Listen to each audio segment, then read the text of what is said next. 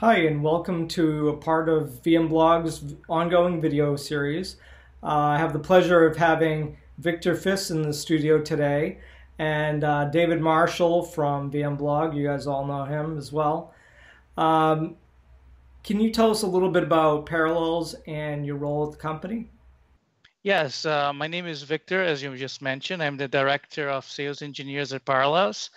I work in the cross-platform products, so I oversee all of the products at Parallels, and um, I am based here in Seattle, Bellevue, Washington, and have been working for Parallels for the last three and a half years. Wow, that's uh, that's a long time. We we've been talking with the folks from Parallels for many many years, but uh, three and a half years is a long time uh, uh to be there. Yes, it is, and actually, Parallels has been in business for what maybe 20 years now and I came uh, right after we acquired one of the technologies we love the best nowadays, which is remote application server. So I came here to restructure the pre-sales and accelerate our growth.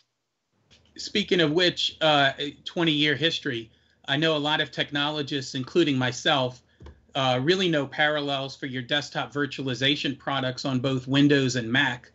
Uh, but can you give folks watching at home sort of a quick overview of Parallels and the other technologies that you also offer? Yeah, absolutely. Actually, this is how I knew about Parallels too. I was a Parallels desktop user back in the day, had a Mac, wanted to run Windows. Uh, so over time, uh, Parallels decided to expand the portfolio. So, you know, deploying Windows on Macs. Then we started managing Mac devices with Parallels Mac Management. And three and a half years or almost four now, we acquired a Maltese or European company called 2X, which is remote application server, which is uh, you know a marketplace to go to VDI, desktop as a services, and so on.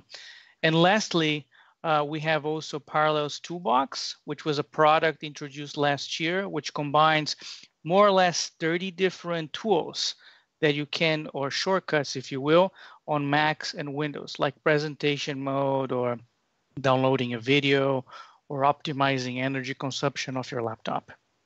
I wanted to find out a little bit more about, you know, what's your take on VDI and the desktop as a service market right now? You know, it seems that through the EUC space has really been heating up in 2019, and um, I was wondering, what do you think is really causing that?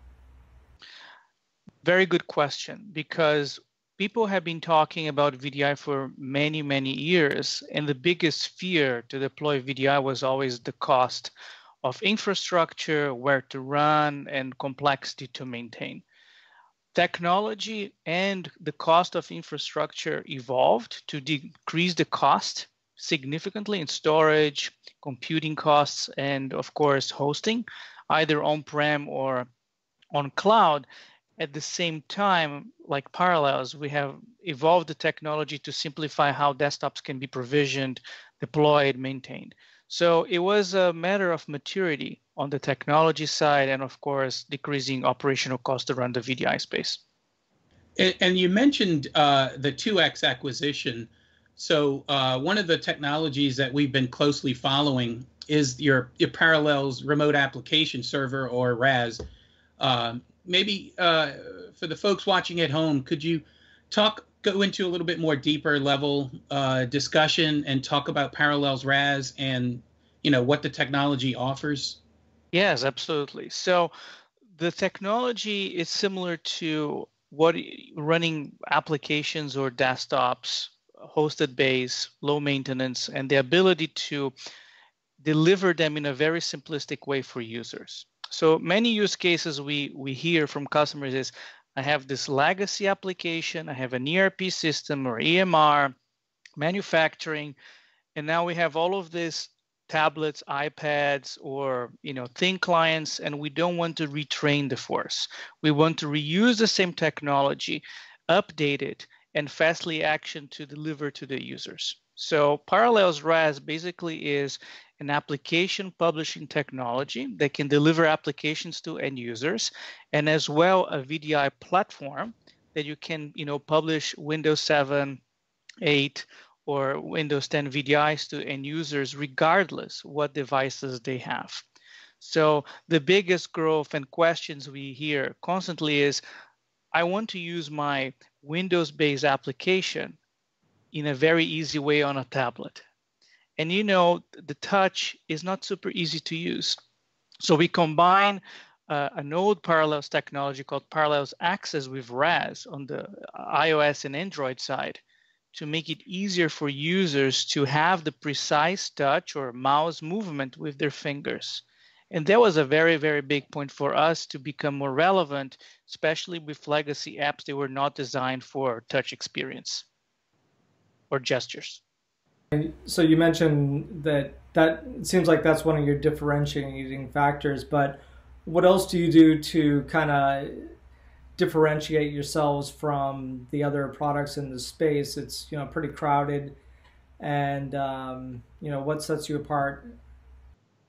It's super crowded. Uh, very true. So the differentiations we can classify in two folds. One of them is in the front end, which is the you know the iOS and Android experience. We think is a very good differentiation there. The second one um, is related to using now AI technologies in remote application server to learn uh, how users log in, what time they log in, and what day of the week they log in to automatically uh, log them in into the system or into the backend infrastructure and have faster login and not overwhelming the infrastructure as a whole. So the way you can, can configure it's pretty much click-based approach instead of creating very complex rules that people might not use it. So simplicity to deliver AI learning session pre-launch. Another differentiation we have is related to uh, what experience users can pick. They can use tablets, they can use clients, and they can use an HTML5 client without compromising how they can access the application. Because who buys the technology today is not IT, is the user if the user likes it, they take it. So we focus a lot into the end user side. And with our, that's I think is the third one is we can live on Azure, we can live on AWS. We have customers starting to use now Google Cloud and Alibaba clouds, and at the same time use their existing infrastructure. So the hybrid approach or multi-cloud that people are talking more and more nowadays we can use our same console, one point of management, and you can see cloud, on uh, on-premise infrastructure, and have a single pane of glass. So the simplicity that we give to users is the same for the administrator side. So recently, you know, we talked uh, with the folks at Parallels. We did a really good uh, written Q and A interview article uh, mm-hmm really recently when you guys announced the new version of uh, RAS, version 17. Uh, for the folks who haven't read it yet, and if you're watching this, you need to go read it. We'll put a link to mm-hmm. that uh, to that interview article uh, in the notes. Uh, but for the folks who haven't seen that yet, uh, can you maybe talk about some of the new features in, in version 17 that really stand out? Yes. So the first one is what I mentioned, the session pre-launch to automatically learn using AI the user behavior. So that's a very big plus to reduce logon times without using application approach. User approach. That's very important to say. The second piece is people ask about I want to do two-factor authentication, but I don't have money or knowledge to use third parties. So we integrated with Google Authenticator and as well with Microsoft Azure Authenticator so you have multi-factor authentication pretty much for free and for all of your apps and desktops. We also introduce uh, for service providers, especially, they love to customize the look and feel of our HTML5 client. It is 100% customizable now. And the idea to customize is not knowing hex codes of colors and where to place the image. It is pretty much guided in a UI that you pick the colors you want, and then we do the translation and the delivery part. On top of that is VDI enhancements because uh, more or less a year and a half ago, we decided to uh, update and re-engineer our VDI, especially because of scalability. And now we ported new features to the Scala uh, for the VDI management, which includes session management, control, remote control, and interactions, which we didn't have. And it's a nice feature to have. So we added to the users. And for the help desk, we have a new web management console. So we call it the help desk uh, console. It's a web UI which picks the most used features in the help desk to assist users, like a session is stuck, you need to log off a user, or you want to um, send a message to all users and, and take interaction with that. So the web UI uh, for that is a version 1.0. We're going to add more and more features there.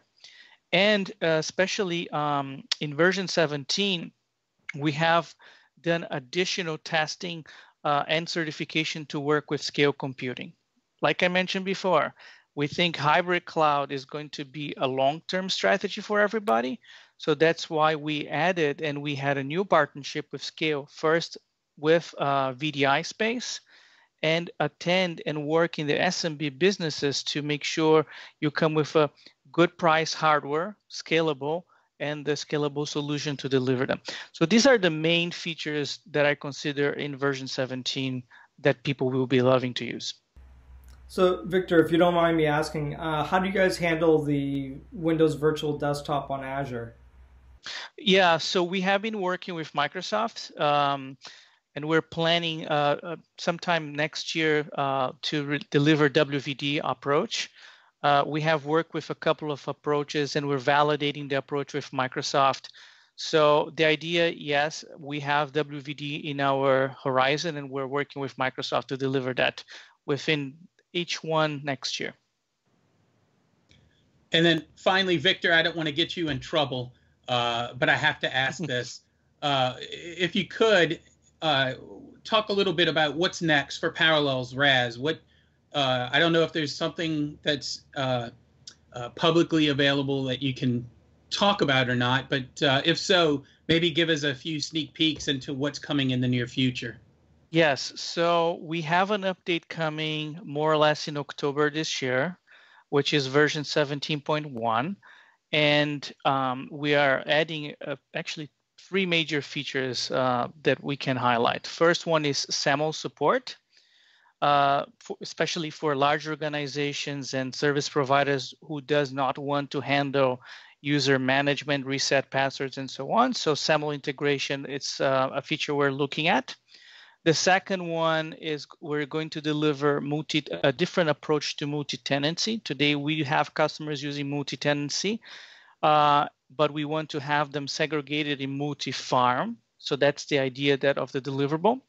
And um, the third feature involves scale computing as well. We're introducing um, what we call dynamic host pools for RD session hosts. And I've said three, but there's a fourth one, uh, which is support to do auto scaling of RD session hosts on Azure. So using templates, you can add and remove workloads dynamically based upon users, which will optimize you know Azure consumption costs for for our customers. Well, great. We uh, I just want to say, you know, for anyone watching this, if you haven't already checked it out, please do check out Parallels uh, remote application server. It's it's really uh, really interesting and powerful and affordable uh, technology.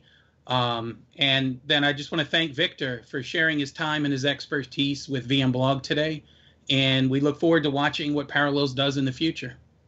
And thank you so much for the opportunity as well. Great.